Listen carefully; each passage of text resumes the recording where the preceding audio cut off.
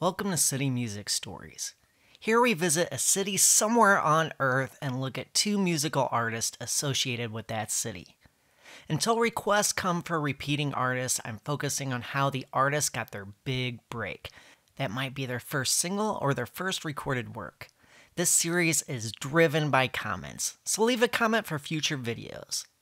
Let's get ready to travel now. Today we are going to Buenos Aires in Argentina, and this is the second time going to the city, and it is the first city to be covered twice.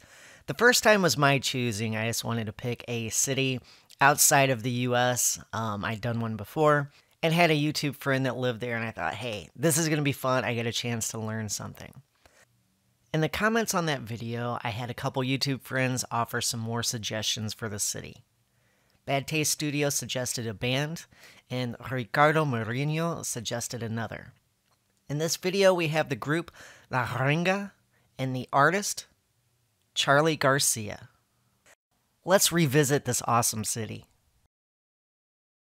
Buenos Aires, officially the autonomous city of Buenos Aires, is the capital and largest city of Argentina. The city is located on the western shore of the Rio de la Plata on South America's southeastern coast.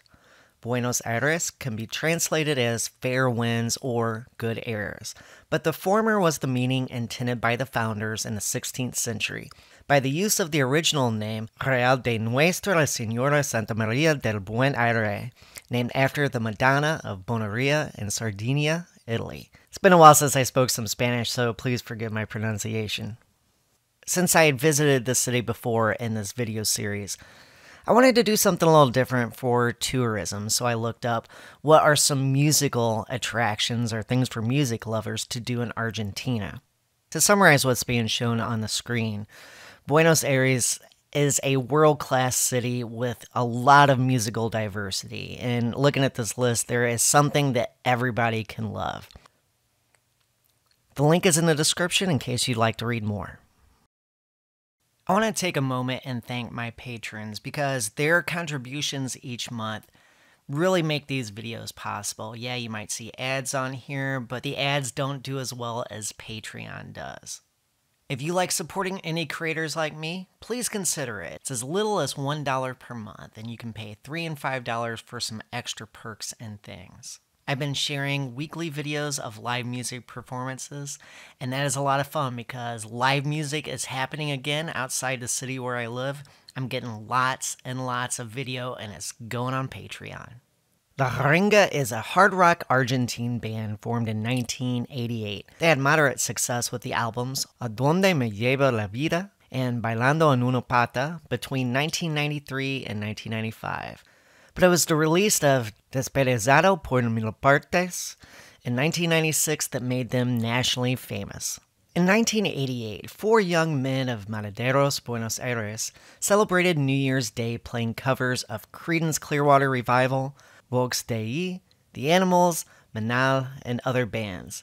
Months later, they decided to form a band, and thus La Renga was born. In 1989, they started recording what would become their 1991 album entitled Esquivando Charcos, a totally independent production that was made up of nine songs, seven of which were recorded in studio and two live in the rehearsal room. Esquivando Charcos is the first album by Argentine band La Renga. Till 1991, it was only available in cassette and it was not available in music shops although the live versions of these songs can be heard in the album Bailando en una pata, is recorded, distributed, and produced in a totally independent way by the band. And as an independent artist myself, you have to respect the work ethic because what people don't realize about music, that takes a tremendous amount of work and organization. So, thumbs up for this band.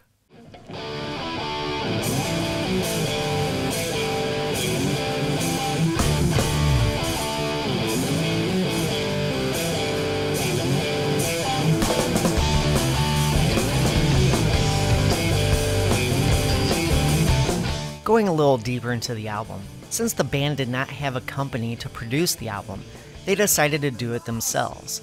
They made 1,000 copies, which they sold at their concerts.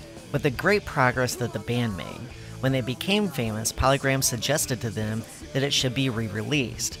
After some doubts, they decided that it was a good idea, and in 1998, Esquivando Charcos was available in stores. The album achieved platinum status in Argentina that year. Looking at the history of the release, it's reasonable why I couldn't find a whole lot of song review, album review type information. I did find one that rated it at 1.5 out of 5, and that's out of one rating, and obviously we can, you know, statistically ignore that one. And then another site just didn't have anything at all. From the clip of music I heard, the band seems to do an excellent job hitting that hard rock spot somewhere between what mainstream rock was in the 90s and what grunge was. And I really enjoyed the vibe and the energy of what I heard, so make sure you check them out. As we move on to our next artist, if you have an idea for an artist or a city, please let me know in the comments. Charly Garcia is an Argentine singer songwriter, musician, and record producer. With a vast and renowned career, he formed and headlined two of the most popular bands in Argentina's rock history Sui Generis in the 1970s and Serú Girán in the 1980s. And he also played a part in some other groups. Since the 1980s, Garcia has worked mostly as a solo musician. His main instrument is the piano, followed by guitar and keyboards. Garcia is also well known for his flamboyant and rebellious personality, as well as his bicolor mustache with one side white due to vitiligo. Garcia first heard the Beatles when he was 13.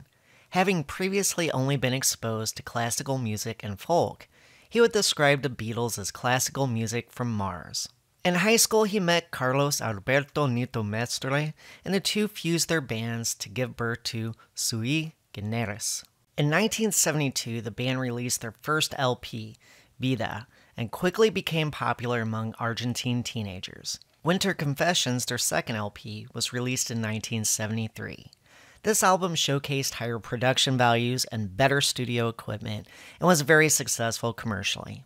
Unfortunately, I'm not able to play any of the music off this album due to copyright, so let's look at some more details. The band started as an electric band, but soon became an acoustic duo. During a tour of Mar del Plata, they were signed by Jorge Alvarez for the Talent label.